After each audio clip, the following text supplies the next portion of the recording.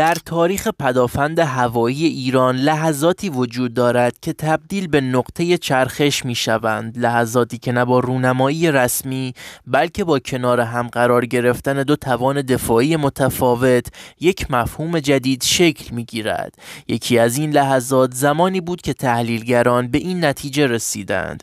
اگر باور 373 به عنوان ستون دفاع زمین پایه و فکور نود به عنوان بازوی هوایی برد بلند در کنار هم قرار بگیرند آسمان ایران عملا قفل می شود این جمله شاید در نگاه اول نام اما در واقع توصیف یک وضعیت کاملا واقعی است وضعیتی که در آن آسمان ایران به فضایی تبدیل می شود که هیچ هواگرد دشمن حتی پرنده های پنهانکار نسل پنجم جرأت عبور بدون ردیابی و رهگیری را پیدا نمی کنند. آن روز سر به مهری که برای درک این مفهوم باید بدانیم که باور 373 به عنوان قدرتمندترین سامانه زمین به هوای ایرانی وظیفه فراتر از دفاع ای دارد. باور برای ایجاد یک چتر دفاعی استراتژیک ساخته شده. چتری که در بردهای بلند، پروازهای ارتفاع بالا، هواپیماهای جنگی، مهمات دور ایستا و موشکهای کروز را کشف، ردیابی و شکار می کند. اما این چتر همیشه به یک ستون پشتیبانی نیاز دارد. ستونی که در ارتفاع بالا و سریع بتواند فاصله ها را پر کند. از شکاف های دفاعی محافظت کند و اهدافی را که از محدوده زمین پای خارج شده اند شکار کند. اینجا است که فکور نود وارد میدان می شود موشکی که به جنگنده های ایرانی اجازه می دهد فراتر از برد درگیری اکثر موشک های غربی از فاصله 100 تا 150 کیلومتر هواگردهای دشمن دشمن را قبل از تهدید شدن نابود کنند. در شبکه دفاع هوایی مدرن اصل طلایی این است هیچ سامانه ای نباید تنها باشد. باور 373 به تنهایی قدرتمند است اما آسیب پذیر فکور نود به تنهایی کشنده است اما محدود به حضور جنگنده ها اما زمانی که این دو در یک شبکه مشترک عمل می کنند پدافند ایران نه یک سامانه بلکه یک معماری دفاعی می سازد این معماری بر پایه مفهوم قفل همزمان کار می کند یعنی چیزی که یک سامان می بیند دیگری هم می بیند و چیزی که یکی رهگیری می کند دیگری از ادامه مسیر فرار مانع می شود دشمن وارد یک تونل مرگ می شود که خروج از آن تقریبا غیر ممکن است. در سناریوی فرضی که در اتاقهای تحلیل ایران بررسی شده دشمن قصد دارد با استفاده از جنگنده های پنهانکار و موشک های دور ایستا به یکی از پایگاه های حیاتی ایران حمله کند. اولین کاری که انجام می دهد پرواز در ارتفاع بالا برای استفاده از مزیت پنهانکاری است. در این ارتفاع باور اولین سیستمی است که واکنش نشان می دهد رادار آرایی فازی باور مدل جدید سطح مقطع راداری اهداف با RCS بسیار پایین را در برد 300 تا 400 کیلومتر تشخیص می دهد.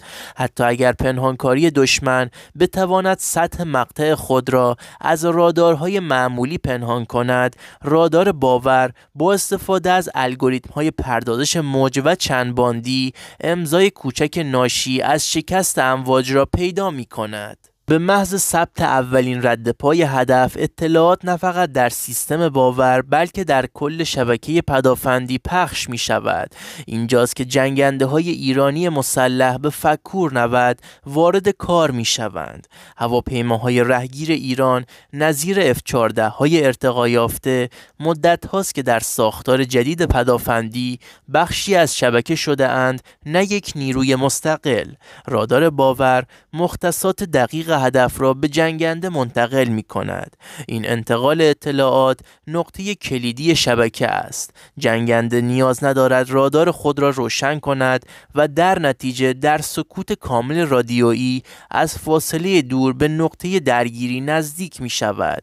دشمن هنوز باور را حس کرده اما متوجه نشده که یک رهگیر ایرانی در فاصله 120 کیلومتری به طور موازی در حال بستن مسیر فرار اوست.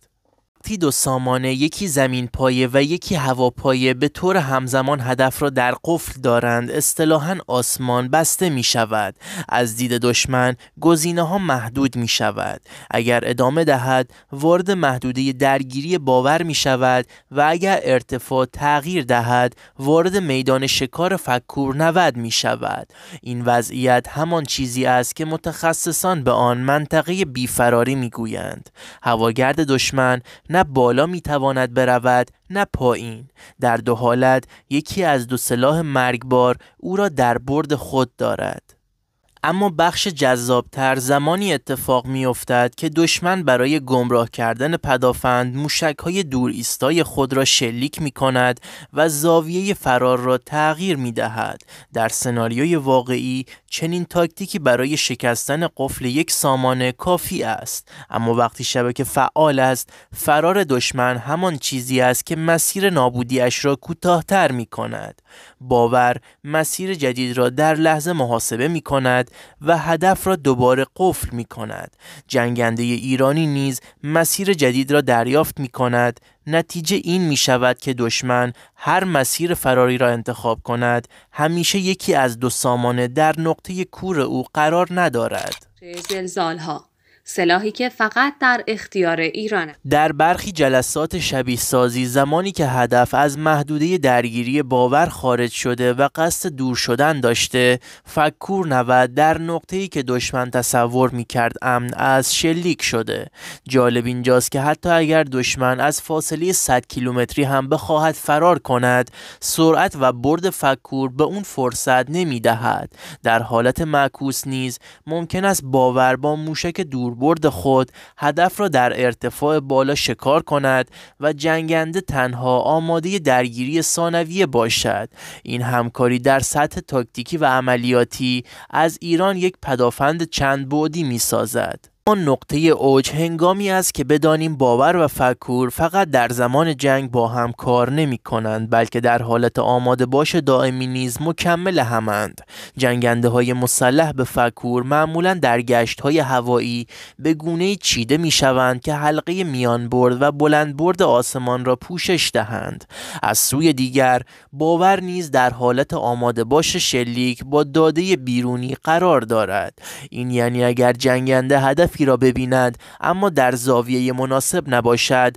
داده ها را به باور منتقل می کند و سیستم زمین پایه هدف را دریافت و حمله را اجرا می کند این مفهوم در هیچ پدافند کلاسیک وجود ندارد زیرا سیستم های زمین پایه و هواپایه اغلب مستقلند. ایران با این ترکیب در واقع وارد مرحله ای شده که به آن معماری رزمی یک پارچه دفاع هوایی می‌گویند. این معماری در کشورهای معدودی اعمال شده و ایران به خاطر محدودیت ها مجبور شده راه اختصاصی خود را بسازد. مسیری که شاید حتی بهتر از مدل های غربی است زیرا به جای تکیه بر سامانه های فوق پرهزینه بر هماهنگی و شبکه سازی تکیه دارد. در حالت تهاجمی نیز ترکیب باور و فکور یک پیام استراتژیک به دشمن می دهد. هر حمله به ایران قبل از اجرا در مرحله جمعآوری نیرو و نزدیک شدن به مرز در دام شبکه قرار می گیرد. فکور امکان رهگیری اولیه و دوردست را می دهد. باور امکان رهگیری عمیق و دقیق را. دشمن نمی تواند در فاصله امن ایستد و حمله کند.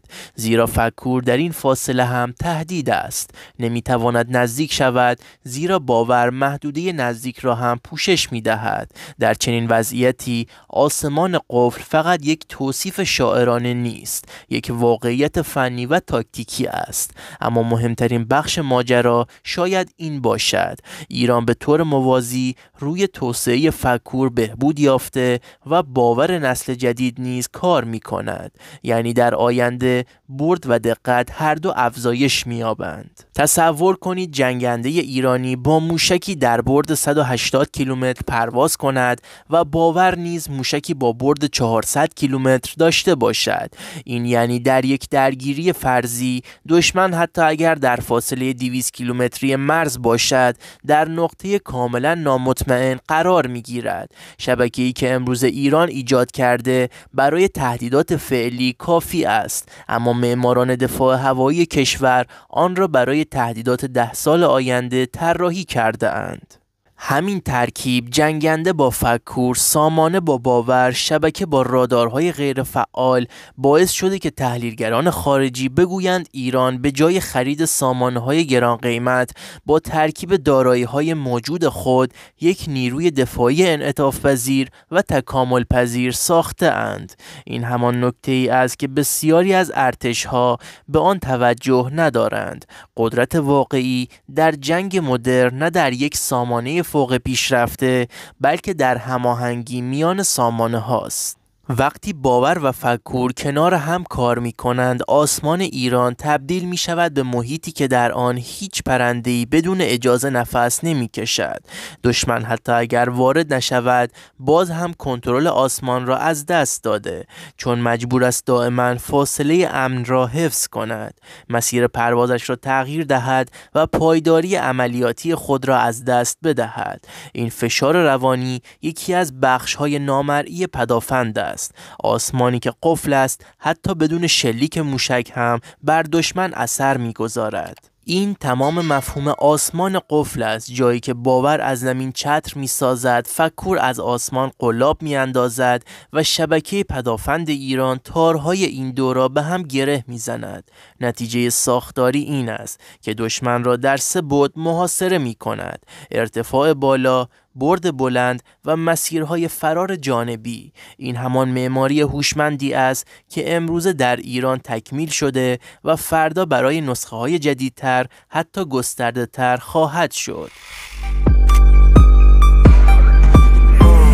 اگر به هر نوع ویدیوهای دانستنی نظامی علاقمند هستید توی کامنت ها بنویسید تا براتون منتشر کنیم. با تشکر از همراهی شما.